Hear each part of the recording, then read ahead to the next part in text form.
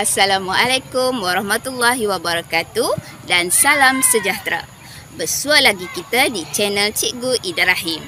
Hari ini cikgu bawa kamu bersiaran di padang sekolah cikgu. Baiklah, seperti mana yang kamu nanti-nantikan, cikgu akan umumkan lima pemenang Karnival Negaraku Sejahtera Anjuran Nestu bagi minggu yang kedua.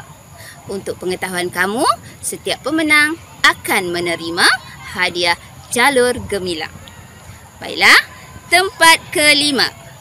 Tempat kelima dimenangi oleh Muhammad Khair Iskandar bin Mat Khairuddin dari SMK Dharma, Kuala Lumpur. Tahniah diucapkan. Tempat keempat, Ina Syaima binti Muhammad Anas dari SK Bandar Baru Selayang, Selangor. Tahniah Inas.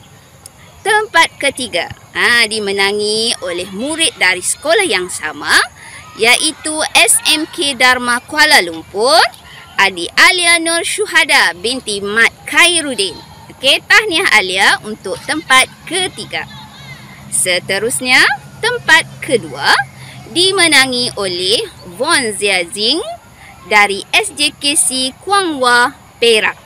Tahniah Von dan Johan dimenangi oleh Aiman Hakimi bin Hamidun dari SK Sungai Abung, Muar Johor.